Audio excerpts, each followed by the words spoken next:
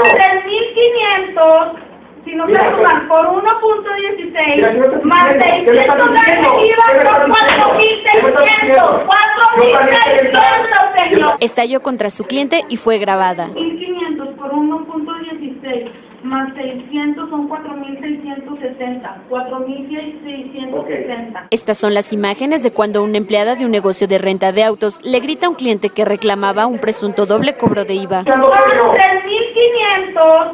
Si no se suman por Mira, yo no 1.16 estoy más diciendo, ¿qué me 600 estás de diciendo? IVA ¿Qué me son estás diciendo? ¿Qué me estás 4.600. diciendo? 4.600, señor.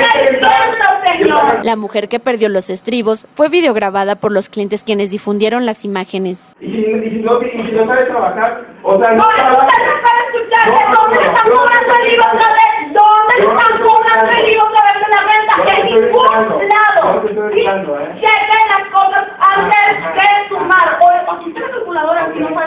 En la red social Twitter, donde se convirtió en trending topic, la empleada fue bautizada como Lady de Apodaca, pues el negocio de renta de autos está ubicado en dicho municipio, en Nuevo León. Si no por Mira, 1.16 yo no estoy El Universal.